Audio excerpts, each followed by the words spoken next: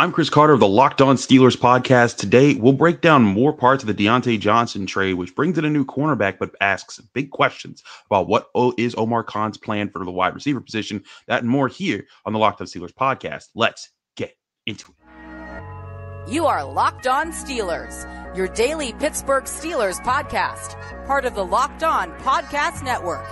Your team every day.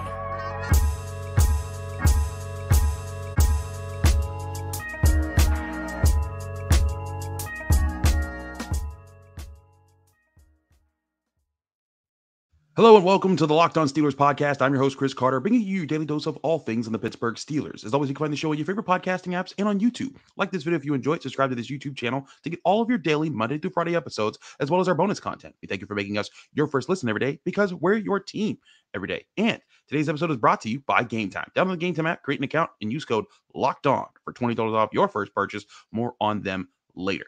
So, now that we've had some time to digest what is what happened to, in, in, uh, earlier this week with the Steelers, one signing Patrick Queen, and two, of course, trading away Diontae Johnson to get back cornerback Donte Jackson from the Carolina Panthers. I wanted to focus on specifically what is going to have to be the plan at wide receiver for the Pittsburgh Steelers. Because as of now, the Steelers have George Pickens, who's clearly a number one type of wide receiver. Uh, and I think that, you know, going into next season, barring any major move that would change anything, uh, you know, he would be the number one wide receiver. But behind him, you got Calvin Austin, Miles Boykin, and they also signed Marquez Callaway, uh, you know, a, a Saints cast off uh, a player who would be another low level wide receiver. But there's no clear number two receiver on this team let alone maybe even a number three. Calvin Austin, you have to, I'd say you'd have to stretch to make a number three wide receiver. Maybe if he gets used better this year, that becomes a factor. But right now, the Steelers need at least two wide receivers to be added to this roster that can come via the draft or come via free via free agency, and ideally from both one free agent, one draft pick. But you guys remember when I was talking about the combine, like, hey, the Steelers are talking to a lot of these big name wide receivers. Like they were talking to Romeo Odunze, uh, Brian Thomas out, out of out of uh, LSU, Ladd McConkey, uh, Roman Wilson, all these guys that are slated to go first, second round. I'm like, that's an indication they're hardly look they're looking hard at wide receiver, and that was another reason I was like, mm, they, maybe Diontae Johnson's trade is possible. I don't know, and I wouldn't commit to saying it was definitely going to happen. But I think that you can see that's how the cookie crumbled. And if we had followed those breadcrumbs, we would have gotten to Diontae Johnson. You guys can tell I'm hungry. Um, but uh, point being, the Steelers had this plan in in place where they probably wanted to reset how they were doing handling things at wide receiver. For one, um, they know that with George Pickens' situation, this will be his third year. After his third year, he's going to want to. You're going to have to start talking about a new contract to keep him long term. And you're not going to pay him wide receiver one money while you're also paying Diontae Johnson receiver one money. So most likely with this being Diontae Johnson's, this would have been Diontae Johnson's last season with the Steeler. Steelers on his current contract, you would have had to decide whether you want to resign him or not. And moving on from him and finding something else kind of makes sense. We'll get to Donte Jackson in the cornerback part of this later. But I, I think that's the big thing here is that the Steelers have to figure out what does their what does their wide receiver group – want to look like? Do they want to have another a, another guy that's like George Pickens, or do they want to have another De- Diontae Johnson type of player who's much smoother in getting getting open their routes, getting into their breaks, and and being and get, being great at getting open and getting space to create an easier target for the quarterback? Because listen, whether it's Russell Wilson, Kenny Pickett, or whoever, also shout out Mason Rudolph, he's now with the Titans. Um, uh, you know whether whether it's any of those guys having a guy like that makes their job so much easier when they when they are able to just to know like hey that guy nine out of 10, nine, not, not even nine out of 10, maybe like 48 out of 50 times, that guy's going to be open in one-on-one coverage if that's what the, what the read is over there, and I can trust that. That's kind of who Diontae Johnson was, and we talked about that even going into last season, where yes, his drops were an issue, yes, him not scoring a touchdown the year before was an issue, but all the people who study routes and people getting open and separation and things like that, he was, if not the best, right up there, like top five receivers in the NFL at doing that. So that is a big thing to replace. That is not some easy task. And I know some Steelers fans want to be like, oh, we won't miss him. Um, if they don't replace him with someone that can do something remarkable at wide receiver, you will miss Diontae Johnson, which is why I think Omar Khan does have something cooking in the background with a move to be made. Now, what could that move be? Well, there's a few things out there that you could do right now as far as free agency. The Chargers just cut Mike Williams. He'll be someone that everyone's looking at, but Mike Williams is 30 years old. He's never been a superstar wide receiver, and he's often been hurt. And I feel like the only way that the Steelers, if they get Mike Williams, that I would say that's a good move is if they get him for cheap and not paying him a whole lot of money. And I think that there's probably going to be a team somewhere that wants to pay him a decent amount of money to come and be one be, be a player for them. So I, I don't see that as working out. Other guys they could look at Marquise Brown, Michael Thomas, Odell Beckham, Hunter Renfrow, Curtis Samuel, Tyler Boyd, the guy that we've been talking about a lot, KJ Osborn, Marquez Valdes Scantling, among other other players. But those are all some like big names that you that, that, that you can go through and say, like, okay, they, they can make sense. Now, again, Tyler Boyd makes the most sense. This is a guy who'd be a veteran, wouldn't cost you a whole lot of money, would be able to come to town, and you know he's a hometown guy, and he could be the veteran that kind of sets the room straight and, and gives you good attitude. I can see him being a solid number three wide receiver. I don't think he's a number two wide receiver anymore in the NFL. I think that he wants to be paid like a number two wide receiver, but I really think he would be a number a good number three for the Steelers. Now, uh, that's kind of where I think a lot of these guys are. Hunter Renfrow would be a good slot, good third option, right? Uh, you know, you look at guys like Curtis Samuel, Michael Thomas; th- those are all in those realms. Marquise Brown, if you want, if you want to go go that route.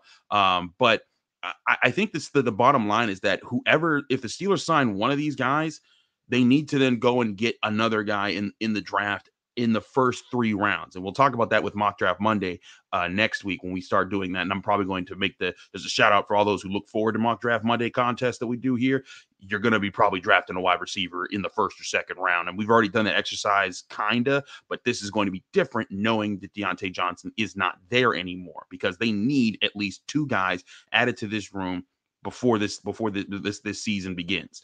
So I look at that and I think like what needs to be your emphasis and what kind of wide receivers do you want to get? Because George Pickens, you know, you know George Pickens, combat catch guy. He's fast, he can get down the field, he can go up and win jump balls with the best of them, but he doesn't get separation. Do you want another guy like that? Do you want a, a route a, a, guy who gets who gets good separation but maybe isn't the fastest? Do you want to get a guy who does both? Do you want to go and get a top level wide receiver, which isn't off the board when you're the Steelers. They also talked to, I think, they believe they talked to Adonai Mitchell. The, that's a guy who's going in the first round. You don't talk to those guys unless you're seriously looking at them. And again, it wasn't just him; it was several first round wide receivers. The Steelers were in, you know, had formal and informal sit downs with either at the combine or at the Senior Bowl. So, with that being known, to me, that says the Steelers they might be looking at trying to get a um another playmaker, a, a playmaker who's a decent uh, a, a, decent playmaker, a number their number three option uh, in the in the in free agency, but then maybe getting that rookie who can be a really good player in the in the in the draft, and that would be a unique position to be in because then by the time that rookie's in their second year, most likely you're finding a way to pay George Pickens, and you can give him a two to three year deal, and then and and and not commit to him in a long time, and then at the end of George Pickens' deal, if this top level wide receiver you've drafted in the 2024 draft that they're about to have, if he's ready to become the number one or Pickens ready to, become, to, to continue being the number one, you have options there. And in meanwhile, if you're hit, you hit on that pick, then you just have two really good wide receivers with a good veteran in Tyler Boyd, along with you know a progressing Calvin Austin. That's a good way to approach this. But how will that look in Arthur Smith's offense? I want to talk more about that in a second here on the Locked On Steelers podcast. I'm your host, Chris Carter. Stick with us. We'll be right back. But first, I want to remind you this show is brought to you by Game Time. Game Time is the app that you need to download right now to your phone because it gives you a chance to buy tickets for your favorite events without it being stressful. Game Time is the fast and easy way to buy tickets for whether it's a, it's a sporting event, concert, comedy, theater event, anything near you. Game Time is most likely going to help you find the great tickets for it. And they give you killer deals even on last minute tickets, even if you're up to an hour late after the event and you still want to find a way to get in Game Time will help you get in with the with their best price guarantee that can't be beat. When you download the Game Time app, you can book tickets at any point in time, and you look at you look at the flash deals that are available. They have so many different options for you, and they give you the best of both worlds because you'll see one, the tickets are real, you're not getting scammed. You'll see the view from those tickets in the Game Time app, and then two, you're gonna get the best prices. They give you amazing discounts, and they promise you that they're gonna give you the best prices because they say if you find tickets in the same section and row for less somewhere else uh, for the same event, Game Time will credit you 110% of the difference of those prizes. That's how confident they are in their in their prices being the best. Download the Game Time app, create an account, and use code Locked On that for twenty dollars off your first purchase, or go to their website GameTime.co. Terms and conditions apply. Create an account and redeem code Locked On. That's L O C K E D O N, all capital letters, all one word, and you'll get twenty dollars off your first purchase. Download Game Time today. Last minute tickets, lowest price guaranteed.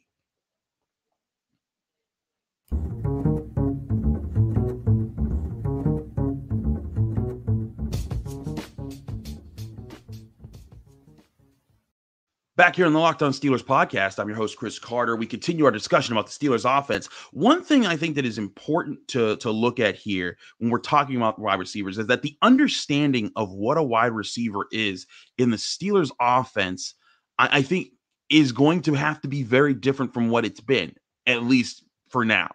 Um, when I say that, I think I, I, I ask you to go back and think back at how you've looked at Steelers wide receivers for the last, let's say, 10 years. You go back 10 years, that's when Antonio Brown was emerging in the NFL. And, you know, Steelers fans knew he was really good, but that was like with 2014, that's right around when everyone was like, oh, so that guy is a, bit a bad dude. He's a beast. And so that's, you know, that became Antonio Brown. They brought in Martavis Bryant, Juju Smith Schuster.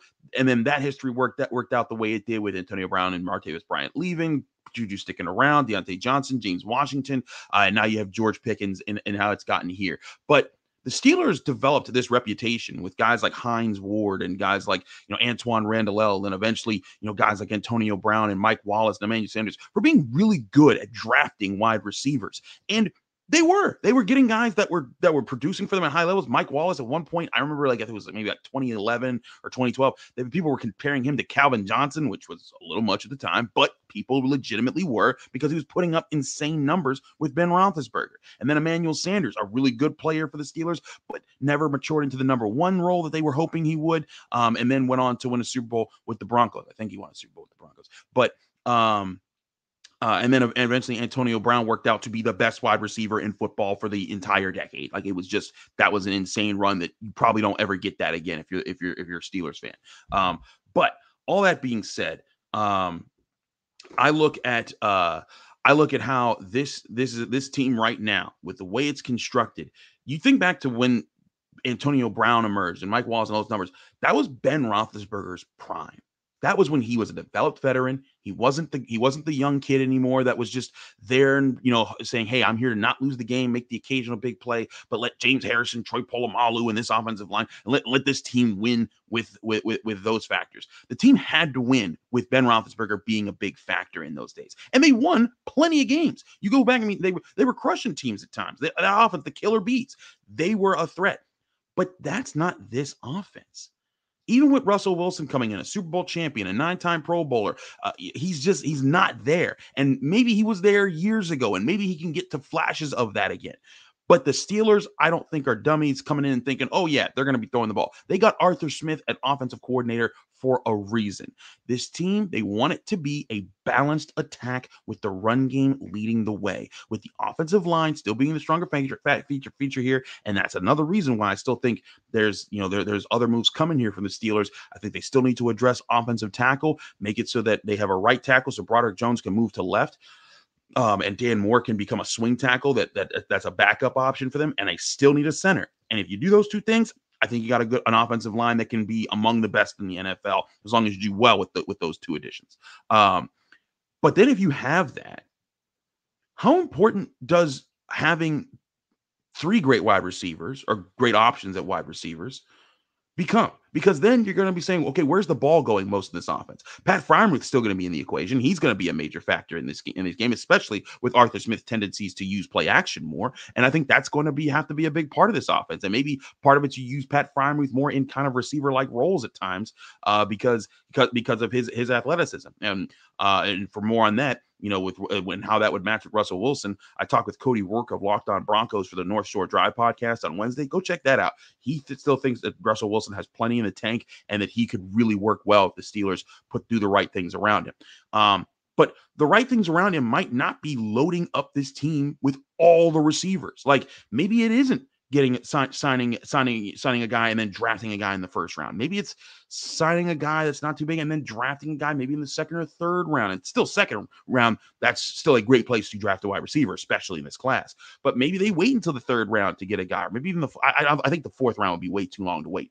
But my point is that the emphasis of this team going moving forward with Arthur Smith, the way that I see this team winning the most of its games, it is dominant up front, which it needs dominant players to dominate up front, which means you know a Dallas, uh, you know, uh, not Dallas Turner, the, the, the, Alabama offensive tackle. Sorry, I'm in the ACC tournament out here in DC, so pardon my pardon our dust as we as we do this on the road here, but um uh, yeah, Dallas Turner's the edge rusher. Y'all know who I'm, talking about, though. The, the, the the offensive tackle from out from Alabama, an Amarius Mims of Georgia, some guy like that who is a a, a game changer. J.C. Latham, that's who I was going with Alabama. Um, but if, if, if, a game changer for, for for any of those big big tackle options, and there's a few out there. Troy Troy Fautanu out of, out of Washington, Taliese Fuaga out of uh, Oregon State. Like, like there's there's options out there that you can look at and say, hey, that's a guy's a game changer. And then center as well, Jackson Powers Johnson, Zach Frazier, and frankly, as I had been saying, like I thought that center would be a position that they might actually sign a bigger name in free agency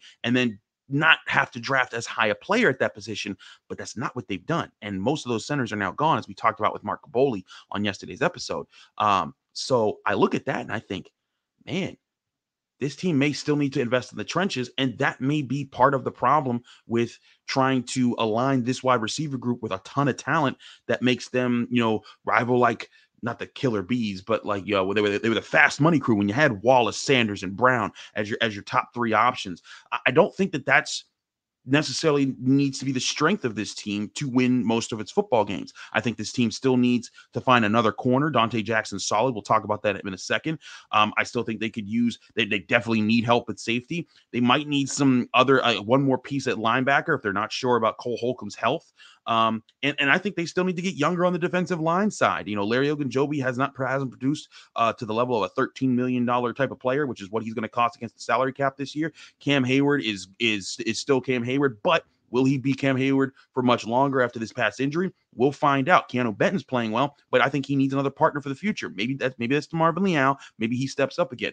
But there's so many reasonable needs that you look across this team, and that's why I'm not 100 percent sure that just overloading wide receiver and going and getting going getting your guy that, that you think is the top of the top. I'm not so sure that that is just the automatic thing that the Steelers can do, even with trading away Diontae Johnson. And if they do, what are they doing to fill those other positions? Because again, I think that this team is going to win a lot more by running the football, using play action, making it easier on Russell Wilson and Kenny Pickett and the quarterbacks in general. Because again, this, this team is built to win in spite of its quarterback, to win with its quarterback managing the games. And if the quarterbacks are good game managers, what helps, what also helps that is playmakers on, on, on offense that can make plays after the catch. Maybe getting a guy who's good at that could be what the Steelers need the most right now. Um, and that's why I do think they'll be looking at wide receivers. But who do they get? We'll be keeping an eye on that. We'll take closer looks at the wide receiver position in the draft moving forward, uh, especially with pro days rolling out as we get to see more numbers of guys who didn't test uh, and guys who did test who are trying to improve their numbers. And then also look at just tape and compare and contrast where certain strengths are uh, versus route runners versus speedsters versus combat catch guys, all those different factors. But what are the Steelers going to do at cornerback? Because that's still a legitimate question, even with the trade to bring in a Donte Jackson. I had more time to look look him up and, and get a uh, get a feel for where he is in his game and how he'll how he'll work with Joey Porter Jr. and what the Steelers might still need to do. We'll talk about that next here on the Locked On Steelers podcast. But first, I want to remind you this show is also brought to you by Robinhood. Did you know that even if you have a 401k for retirement, you can still have an IRA? Robinhood has the only IRA that gives you a 3% boost on every dollar you contribute when you subscribe to Robinhood Gold. But get this now through April 30th, Robinhood is even boosting every single dollar you transfer in from your other retirement accounts with a 3% match. That's right, no cap on the 3% match. Robinhood Gold gets you the most for your retirement thanks to their IRA with a 3% match. This offer is good through April 30th. Get started at robinhood.com slash boost. Subscription fees apply. And now for some legal inf- information, claim is the claim is of, of quarter one for 2024, validated by Radius Global Market Research. Investing involves risk, including loss. Limitations apply to IRAs and 401ks. 3% match requires Robinhood Gold for one year from the date of the first uh, 3% match. Must keep Robinhood IRA for five years. The 3% matching on transfers is subject to specific terms and conditions. Robinhood IRA is available to U.S. customers in good standing. Robinhood Financial LLC, member SIPC, is a registered broker dealer.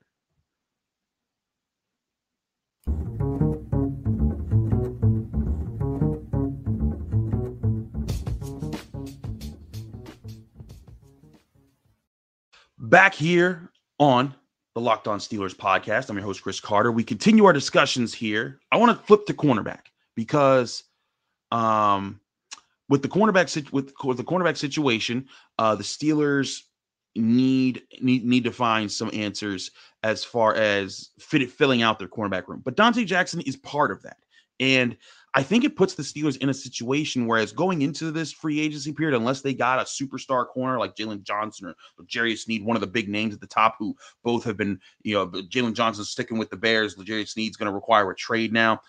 I, still feel like you know I, I, felt like going into free agency they had they were in position to go get a top corner in this draft class. But uh, the thing about getting that top corner is that that's going to you with with your needed offensive tackle and now at wide receiver. That's it. You know that it's going to be a choice. Where do you want to emphasize things? But the addition of a Donte Jackson, I think it doesn't eliminate the need to add a cornerback. They still need to, but it does put them in position where you, it's like where Kevin Colbert always said for years they want to be in position on draft day to not have to draft a position t- in, in, the first round because of an obvious need because then people can snipe off what you what you're trying to do and then you become more predictable and then that's how you get got on draft day. Um, that's where the Steelers, I think, adding a Donte Jackson kind of positions them to be because you could go in and say, look, our CB1 is Joey Porter Jr., CB2 is Donte Jackson. Maybe they add another nickel corner in free agency at some point that doesn't cost them that much. And you could say, look, we got these three guys, and then Corey Trice and Darius Rush. Those guys can develop. We'll see. We'll see where they go. Um, and then you maybe and so then, then you can maybe even draft like a middle to late round cornerback and, and call that. But it wouldn't close the door either on picking the cornerback high because Donte Jackson, as as as he plays, he's an outside corner. Despite him, he's smaller, he's faster. He's primarily played outside corner when you look at his look at his career, and that's where I think the Steelers are going to try to put him there. You know, if they try to put him in the slot, that would be an experiment, and I'm not so sure about that. But having a Donte Jackson is kind of like putting him in the position where Patrick Peterson or Levi Wallace were in place of Joey Porter Jr. this past season. Let's say the Steelers get a corner and they want to get them adjusted to the NFL, or maybe they're the guy that, that's injured coming in, uh, and they and they don't get to start training camp right away, kind of like how Joey Porter Jr. missed some time with his training camp. Um, th- that would give you an option to say, hey, that young corner, he's coming up. But Donte Jackson, he's the veteran. He's going to hold it down. We know that he can be a good veteran in, in, in a defense. Um, and, and, I've also said, like Donte Jackson, you know, I'm not entirely impressed, but I, he's a solid corner, and he's, he's I think he's a decent option to be a number two. But if, as I've said before, if the Steelers for their next era uh, uh, of this next generation of a core that they're building. Because right now, the core, the core is TJ Watt, Cam Heyward, Minkah Fitzpatrick. But TJ Watt's turning 30. Minkah Fitzpatrick's in his late 20s. Cam Heyward is, you know, maybe another year or two out of retirement. You look at you look at those guys. Their their core their time of being a core is, is is running out. You need a new young core to come in, and you got pieces for it, right? Alex Highsmith, mid mid twenties, mid to late twenties. He's doing he's he's doing all right um, for, for, for, you right now. Keanu Benton, really good rookie year. Joey Porter Jr., really good rookie year. There's pieces there to be part of that. And now even Patrick Queen, your addition there, he's only 24 years old. He can be part of that. But what could really put this team together and put this defense together and maybe even put them in an elite category is if Joey Porter Jr. continues and rises and becomes a top corner in the league that's right respected and known by everyone as a top corner in the league and then you get another one just like him across from him. And Donte Jackson isn't that. He's a solid corner who will occasionally get beat deep and he'll give you some he'll give you some good veteran time out there.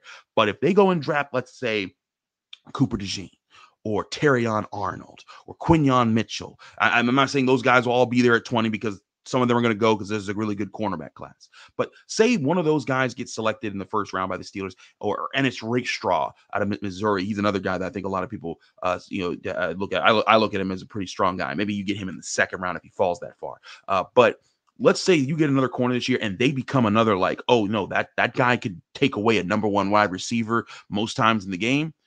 Then you have two pillar cornerbacks to build your defense around where you can be as aggressive as you want with blitzing, with doing everything else. And you don't because you're trusting, hey, those guys are going to win in man on man. You still got Minkah Fitzpatrick. I still think they need to add another safety to, to replace what Keanu Neal and maybe even Damontae Kazee if they don't keep him around. Um, and you still need a slot cornerback, but you have two corners that can take away the two top options for the other team at wide receiver.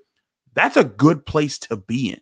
And I think that that's where uh that, that that's where like defenses like the Browns defense, like you know, Myles Garrett, huge part of that defense. But Greg Newsome and Denzel Ward, they're a big part of that defense too because they can they can line up with guys and contend with them all game long. And if the Steelers can get that with a high draft pick this year, that makes a lot of sense. And in today's NFL, that's cornerback's a premium position. So that's where I see that maybe Donte Jackson gives them the room to say, hey, if let's say the guys that you thought were graded to be first round guys that deserve the 20th overall pick. Quinyon Mitchell, Terrion Arnold, uh, Cooper G. Let's say they're all gone by there, and you're looking at, mm, we'd like this, but we're going to get a tackle. We're going to get JC Latham. We're going to get Fuaga or Mims or one of those guys. And you add that guy or a wide receiver now because that, that that's on the table. And you want to revisit corner in the second round uh, uh or, or get a Mike Sainristil still out, out of Michigan or one of those type of guys in the second round. Like you could do that now and say, hey,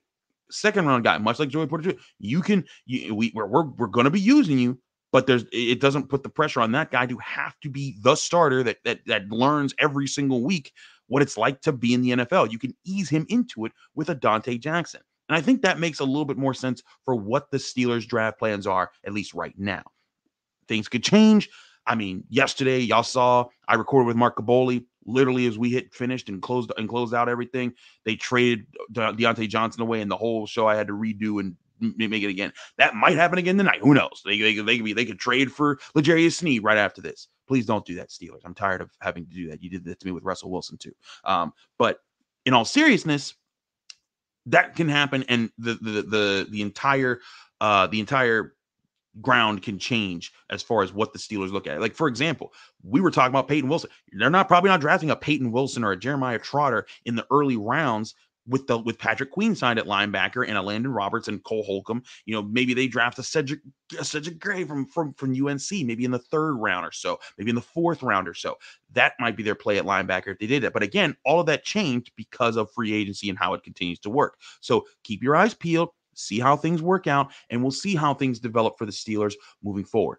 But bottom line is cornerback, Donte Jackson isn't the answer. I think he's a temporary answer that can be a placeholder at cornerback next to Joey Porter Jr. and still be part of what can be a very good to maybe even great defense if the right things happen uh, in this offseason and the right guys stay healthy next season. Still a lot to analyze there. Still a lot to look at what they what else they could do in free agency, other targets that they have, how things are going to set up for the draft. We'll keep you up to date with all that here on the Locked On Steelers podcast. I'm your host, Chris Carter. Follow me on Twitter and Instagram at Carter Critiques. Read my work at the Pittsburgh Post Gazette, post-gazette.com. Find me here every day, Monday through Friday, breaking down your Pittsburgh Steelers right here on the Locked On Steelers podcast.